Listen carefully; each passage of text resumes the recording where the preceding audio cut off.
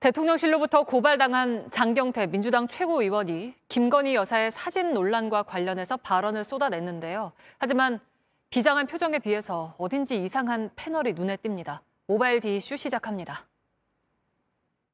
역사적인 고발을 해주셨으니 역사적인 사명감으로 대응하겠습니다. 제2의 장준하가 되어 역사의 진실 앞으로 당당하게 나아가겠습니다. 이상입니다.